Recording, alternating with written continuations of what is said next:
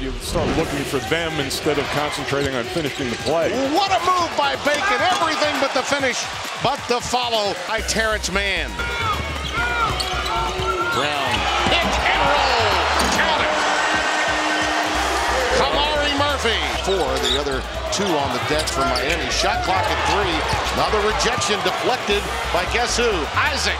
Started it and finished it. That's what length does.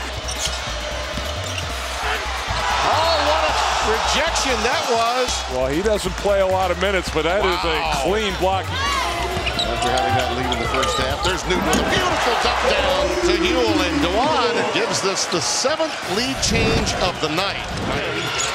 And another takeaway for the Noles. Mann has Bacon down on the floor with him. Twisting and surging, and what a move by Isaac. He looked like Stacey Augmon there. And Brown back on the floor playing with three fouls. Strong move. That's why you can't afford not to have him on the court. Isaac, what a blow by. One of the best I've seen all year. Unreal. There's an alley-oop and a slam dunk. Bacon to Cofer. And the lead is up to 18. Our final 75-57. Florida State gets the victory for Leonard Hamilton over Miami.